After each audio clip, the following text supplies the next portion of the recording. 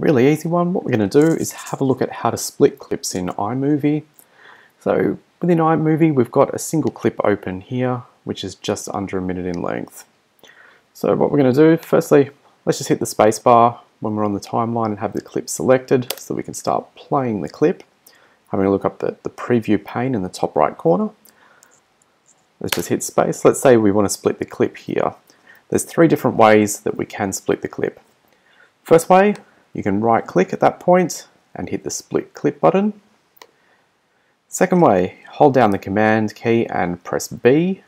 That will split the clip.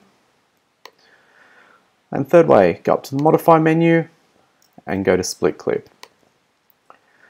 Okay, what we'll then do is, let's go a bit further down into our video and let's say we want to split again. The easiest way that I normally use is just to go Command B. So now our single one minute clip has been split up into three smaller clips. From here, you can just delete, let's say the middle clip, which will bring the rest of your video together. So we play it through now.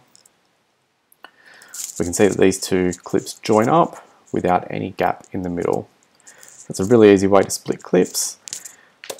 One thing to remember, you've always got the option of Command Z, which will undo your steps, bring all your clip back together.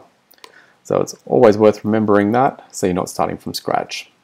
And that's how to split clips in iMovie.